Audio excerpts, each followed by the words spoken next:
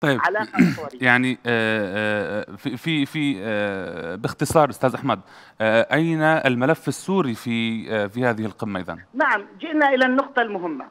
إذا تحدثنا عن تعاون إقليمي بين دول المنطقة ما هو المشكلة في هذا التعاون الإقليمي؟ هي دول النزاعات الحالية يعني المشكلة اليمنية المشكلة السورية المشكلة الليبية. ما هو جوهر الحل في هذه النزاعات؟ تركيا وإيران. يعني بدون إيران لا يمكن حل المشكلة السورية لا يمكن حل المشكلة اليمنية والسعودية تدرك ذلك جيدا. وبدون تركيا أيضا لا يمكن حل المشكلة السورية ولا يمكن حل المشكلة الليبية. ودول الخليج تدرك ذلك جيدا.